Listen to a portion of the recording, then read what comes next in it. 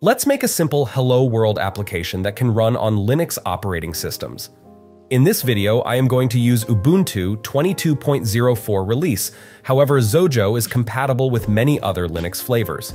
Make sure to check the system requirements. Okay, let's head over to the library panel and drag a button on our window.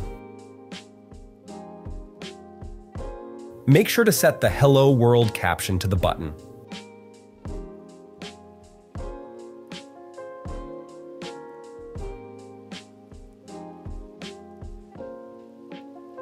Now, let's add the pressed event handler.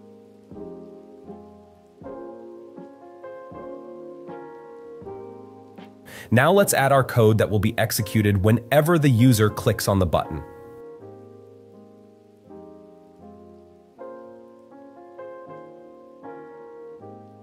Head back to the Visual Layout Editor, and let's press the Run button to start and debug our application.